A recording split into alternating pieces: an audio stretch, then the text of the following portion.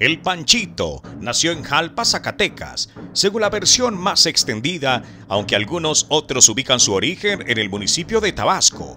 Es en esa región, entre Fresnillo, Guadalupe, Calvillo, Jalpa y Nochistlán, donde se acusa de controlar la producción y distribución de droga.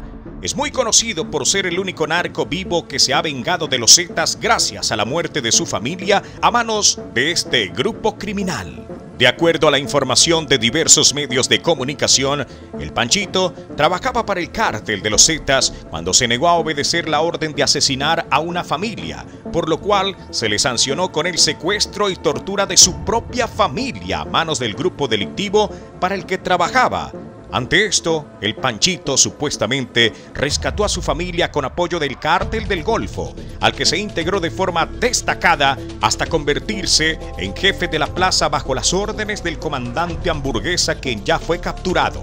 Los Zetas ingresaron a este territorio como unos fantasmas, de pronto ya eran dueños de la plaza.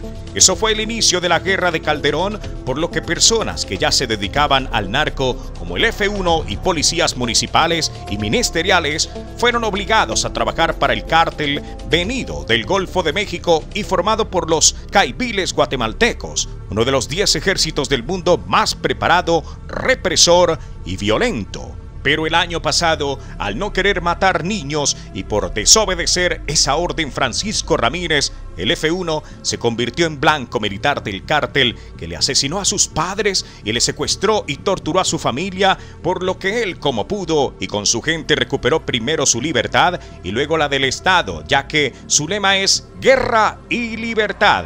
Y en otro narcocorrido donde se habla de esto se dice que busca el bien del cártel y del Estado sin matar inocentes. el mismo corrido, arrancando los motores de los tucanes de Tijuana, da cuenta de ello. Cuenta la historia de cómo una venganza logró crear a un narco con ideales convirtiéndolo en el héroe de los zacatecanos. En Jalpa y Tabasco, así como otros municipios de Zacatecas, el F1 es querido y respetado por la población, ya que expulsó a los Zetas de las comunidades, por lo que es considerado un héroe y un Robin Hood zacatecano. Las peleas más violentas entre el CDG y los Zetas se dan principalmente en los municipios de Fresnillo, Valparaíso, Jerez, Guadalupe y la capital del estado, mientras que el CJNG ingresó a Zacatecas en búsqueda del control de las rutas de las drogas sintéticas a Estados Unidos, ya que al sur conecta con Jalisco y Nayarit, que controla el cártel, y al norte es un paso para llegar a Durango, Coahuila y Nuevo León. El F1, el Robin Hood zacatecano y hombre fuerte del CDG. En Jalpa y Tabasco, así como otros municipios de Zacatecas, el F1 es querido y respetado ya que algunos habitantes consideran que expulsó a los Zetas. Tras la captura de José Antonio Romo López, el comandante hamburguesa, uno de los líderes del cártel del Golfo en Zacatecas, las operaciones de la organización delictiva las asumirá Francisco Ramírez, el F1 o el Panchito, quien era jefe de sicarios. El F1 organizaba las caravanas de camionetas con hombres armados que recorren carreteras, brechas, ranchería, pueblos y municipios para impedir que los Zetas y el cártel Jalisco Nueva Generación se apoderen de sus plazas, lo que generó un aumento de la violencia en la entidad. El comandante hamburguesa asumió el liderazgo del CDG en Zacatecas respaldado de Julián Manuel Loíza Salinas, comandante Toro, y Samuel Flores Borrego, Metro 3, el primero se apoyó de el F1. En mayo de 2023 circuló la noticia de que el F1 fue aprehendido por elementos de la Secretaría de la Defensa Nacional, Sedena, posteriormente liberado. Pero los propios mandos castrenses desmintieron la versión, aclararon que solo aseguraron a tres de sus escoltas. En Jalpa y Tabasco, así como en otros municipios de Zacatecas, el F1 es querido y respetado por la población, ya que expulsó a los Zetas de las comunidades, por lo que es considerado un héroe y un Robin Hood zacatecano. Las peleas más violentas entre el CDG y los Zetas se dan principalmente en los municipios de Fresnillo, Valparaíso, Jerez, Guadalupe y la capital del estado, mientras que el CJNG ingresó a Zacatecas en búsqueda del control de las rutas de las drogas sintéticas a Estados Unidos, ya que al sur conecta con Jalisco y Nayarit, que controla el cártel, y al norte es un paso para llegar a Durango, Coahuila y Nuevo León. en Zacatecas también se habla de un cuarto grupo delictivo, el Cártel del Noreste. Sin embargo, autoridades estatales reconocen que se trata de una excisión simulada por los Zetas por estrategia. El ex gobernador Miguel Alonso Reyes dejó a su sucesor en el Ejecutivo Estatal Alejandro Tello una herencia roja la entidad sumida en la violencia, donde aumentaron 339% los asesinatos en los dos últimos años de su gestión. De acuerdo al Sistema Nacional de Seguridad Pública, en el 2014 se perpetraron 128 homicidios dolosos, en 2015 fueron 289 y en el 2016 se contabilizaron 562.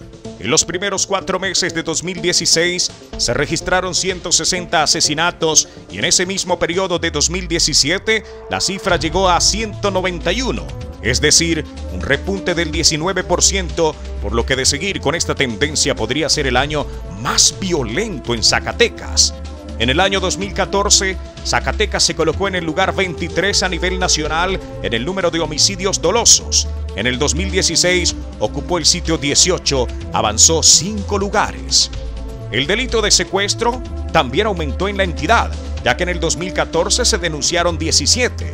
En el 2016 el número de averiguaciones llegó a 47, un crecimiento del 176%.